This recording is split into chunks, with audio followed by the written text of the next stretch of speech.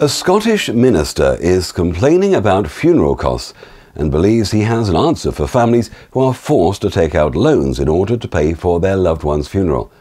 The Reverend Bryan Kerr, minister at Greyfriars Church in Lanark, is appalled at the increasing cost of funerals, which have risen by 80% over the last 10 years to around £3,500 with increasing numbers of families and individuals turning to high interest loans to meet the financial shortfall of a funeral, he has criticized councils and funeral directors of bleeding the system dry. In addition, Reverend Kerr says that the government is not doing enough to help people facing this financial crisis, with only half of the applicants for relief actually receiving any money. Even those who are eligible only receive, on average, around £1,225, leaving a shortfall of £2,275.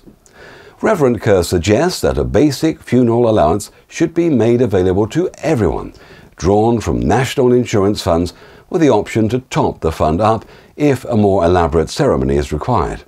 He acknowledges that the government in response would be likely to raise taxes, but says we all need a funeral of some description. What are your views on the cost of funerals? Do you have any alternative ideas as to how we can all help our loved ones with funeral expenses?